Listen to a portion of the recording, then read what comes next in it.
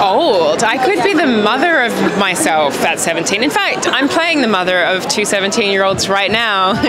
so, uh, I mean, never say never, but yeah, I think there's probably a new generation of 17 year olds that could take our, fill our, fill our tails.